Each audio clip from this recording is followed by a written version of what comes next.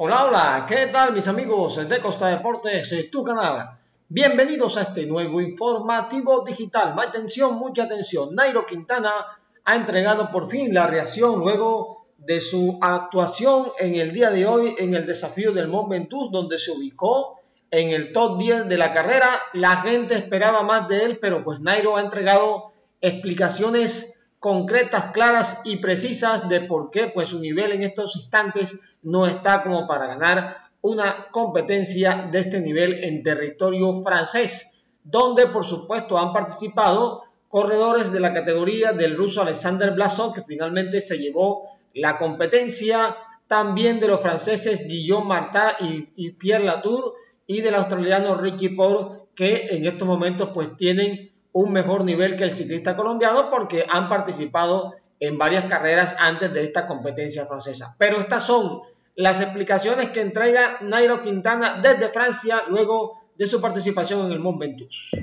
Hola Nero, ¿cómo te siento? Bien, ha sido la primera carrera después de tanto tiempo sin, sin hacer competición, el cambio de altura, un poco el calor que nos ha afectado bastante y, y bueno, pero en líneas generales estamos tranquilos, sabemos la preparación que tenemos y la, la preparación que llevamos. Esperamos seguir recuperando efectivamente también de la rodilla y este lapso que hay entre el tour, poder ir mejorando, eh, haciendo bien el Tour de Len y lógicamente el lado final Iberé para llegar a un 100% al Tour de Francia y ya adaptarnos totalmente que no nos pase pues, lo, que, lo que hemos pasado hoy. Si nos damos cuenta, muchos corredores eh, mm, nos ha pasado lo mismo en esta carrera no solamente, sino en Vuelta a Burgos, en Occitane y demás. Así que estamos tranquilos y sabemos la preparación que llevamos, que es buena. Bueno, muy bien, ahí está lo que ha dicho Nairo, que ha sido claro, el calor lo ha afectado mucho, a pesar de que la temperatura en esta cima, de acuerdo a la climatología, antes de la carrera estaba alrededor de los 20 grados centígrados, es lo que habían indicado los pronósticos en la cima del Mont Ventoux. Por supuesto, antes de, la carrera, 30, 35 grados, estamos en pleno verano francés y es una situación que de que si no estás acomodado, si no estás aclimatado, pues te va a pasar factura. Nairo ya eh, tiene varios días, incluso varias semanas de estar en Francia, pero parece que todavía no le es suficiente eh, eh, adaptarse al clima. Aquí vemos aspectos, señoras y señores, de la carrera hoy bastante emocionante de principio a fin, sobre todo cuando yo ya llegó la última parte del desafío del Mont Ventoux. Este es Pierre Latour, el ciclista francés que fue el primero de los importantes, de los nombres rimbombantes, ilustres de la carrera que partió eh, para mover el pelotón. Luego lo persiguió Guillaume Martin y lo pasó. Ya, ya hemos visto el paso de el ciclista con el maillot eh, rojo. Aquí viene la partida de Fabio Aro y la gran actuación del colombiano Harold Tejada, que fue el mejor de los nuestros. Ahí pasa Nairo en el grupo que persigue a, a la Tour y a, a Marta, que finalmente va a ser el grupo que entre entre los 10 primeros de la carrera. También pasó el colombiano Miguel Ángel López, una playa de, escaladores, de corredores que sin duda alguna entregaron un espectáculo importante en el día de hoy. Hay, hay algunos que se preparan para el Tour de Francia, otros que se preparan para la Vuelta a España, pero muchos pues querían ganarse esta carrera que es como una especie de reto, sobre todo por el doble ascenso a esta cima mítica que eh, se, ha corrido muchas veces en el Tour de Francia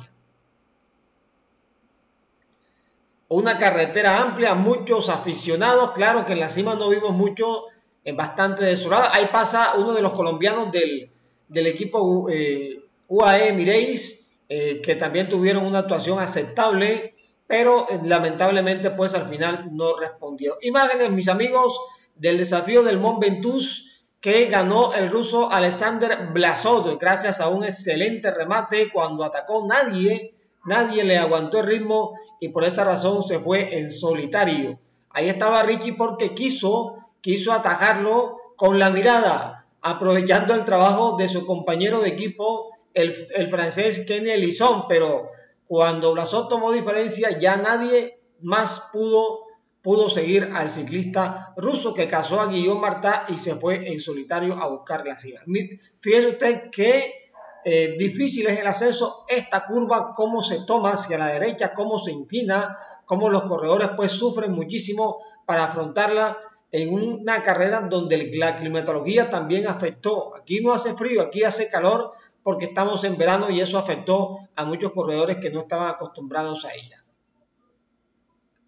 Esta es, mis amigos de Costa Deportes, la premiación al campeón Alexander Blasó, que recibe allí su botella de champán, su premiación, aunque decían que no iba a haber gente, sí hubo algunos eh, directivos que eh, dieron como la chapa allí en la tarima con el campeón de la carrera. Y aquí están las posiciones de los colombianos en la competencia del día de hoy. Eh, primero eh, Tejada puesto 6, después Nairo, Miguel Ángel López, Johan García, Daniel Méndez, Viner Anacona, Dayer Quintana, Cristian Muñoz, Juan Felipe Osorio a 16-27 en la competencia.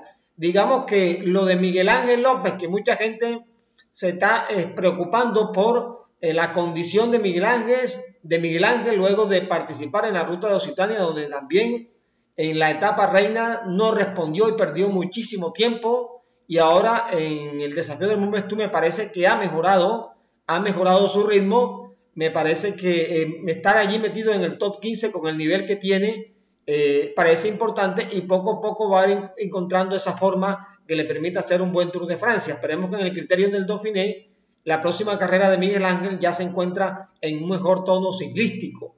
Porque, sin duda alguna, pues es la ficha de la Astana para esta carrera. Blasov lo ha hecho muy bien, pero el líder de la Astana en el Tour de Francia va a ser el ciclista colombiano Miguel Ángel López, posición número 12 hoy en el desafío eh, de Mont Ventoux.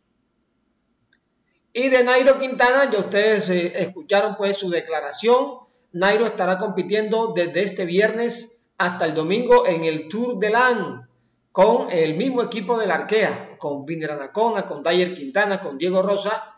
Digamos que Nairo Quintana, este desafío del Mont Ventoux lo tomó como una especie de etapa de una primera etapa de cuatro que tiene que afrontar entre jueves y, domingo, porque mañana corre en una jornada que es semillana y sábado y domingo será acción de mucha montaña. Suerte para Nairo y que se siga recuperando y ojalá nos entregue grandes victorias en las próximas carreras.